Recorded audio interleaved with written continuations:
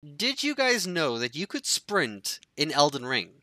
Because for some reason I didn't. I've been out here walking around the whole game, rolling where I need to be, putting on light load gear just so that I can move around faster.